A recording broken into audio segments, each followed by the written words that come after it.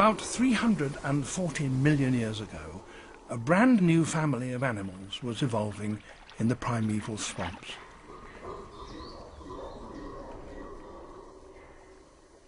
They were to go one step further than the amphibians, who had emerged onto dry land before them. For they would eventually completely cut their ties with water. They were the ancestors of today's lizards. They evolved scaly, impermeable skins and moved up into the forests.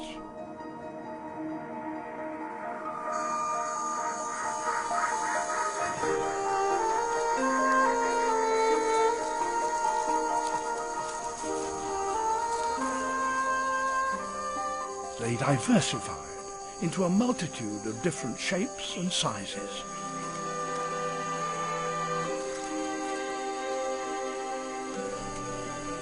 They developed signaling systems to communicate with one another.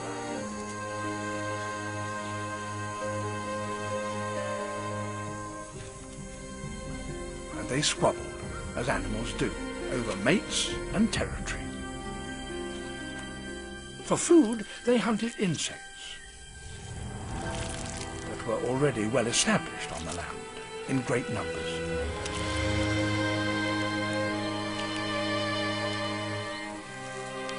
And here, without returning to water, they produced their families.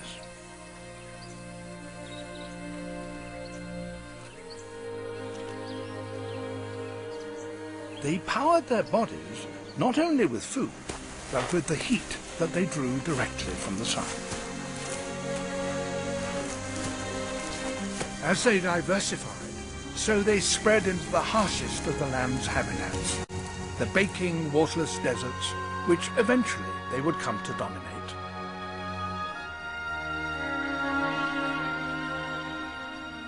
The bigger ones are truly powerful and fierce. Rearing up, they're well able to defend themselves with their front legs if they're threatened.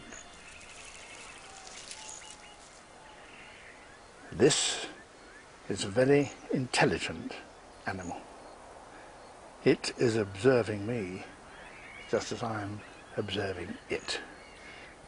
It's a monitor lizard and it's king of this country, the Australian outback. It is frightened of pretty well nothing, obviously, including me, and it'll chase and hunt and eat pretty well anything. There are several thousand lizards around the world, and they are truly the dragons of the dry.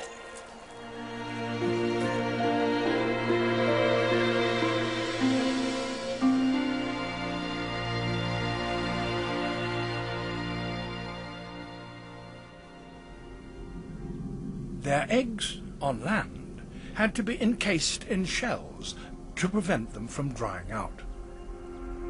And what better place to lay them could a mother lizard find than a termite's nest? Worker termites labour unceasingly to keep the temperature and humidity virtually constant for their own benefit. But that also makes their mound a near perfect incubator for eggs of others. After ten months, they're beginning to hatch.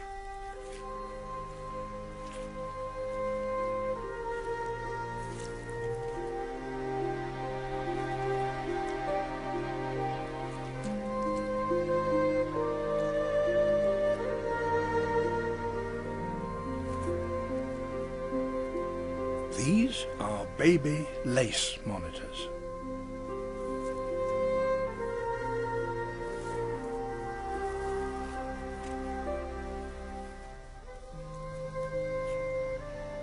But they face a major problem. A termite nest's walls can be a foot thick and extremely hard. Too hard for the young monitors to break through. They are imprisoned with no food.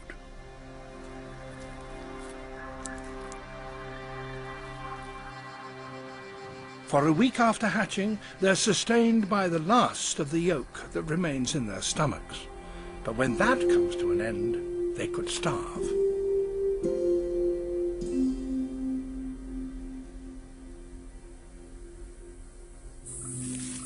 An adult lace monitor is nearby.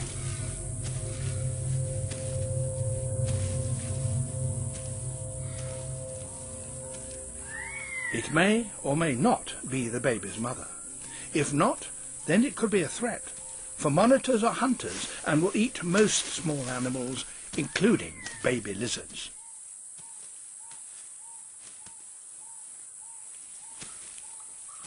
She is nearing the termite nest within which the young are trapped.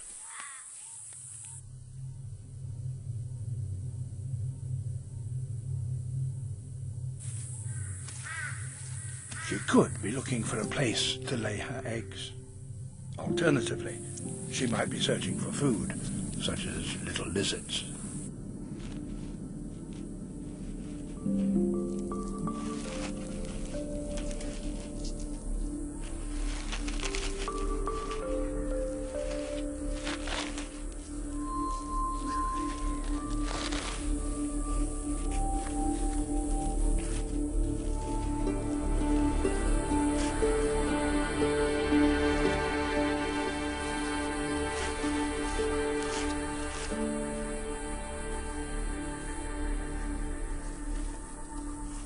Babies are released unharmed. Perhaps she is indeed the baby's mother, and not only remembered exactly where she laid her eggs a year ago, but knew that her babies would need her help to escape from the incubator.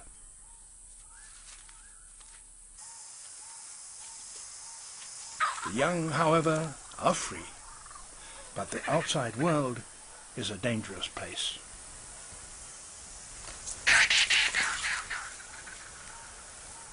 They head for safety, up into the trees.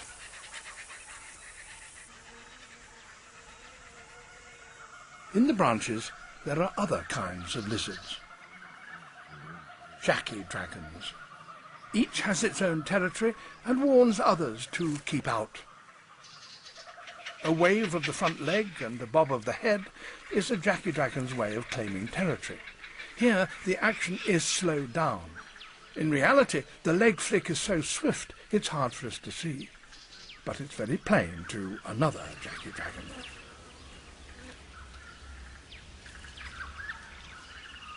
But sometimes signals are not enough.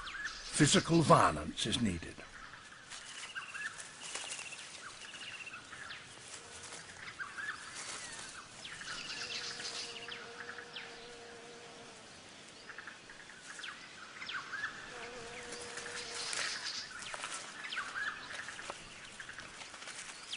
He's won. The vanquished acknowledges his defeat with a different signal. A slow leg wave with no head bob. The winner returns to his territory in the branches and announces his victory, which his neighbour acknowledges.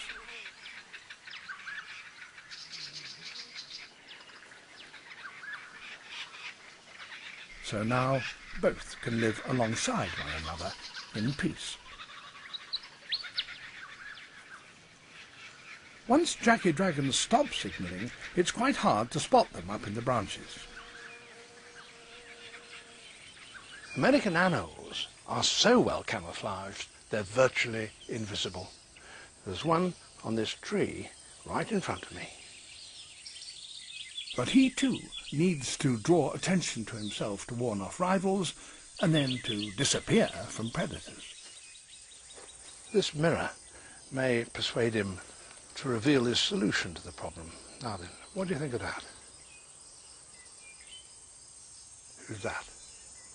Yes, it's a rival. A tail wag. Yes.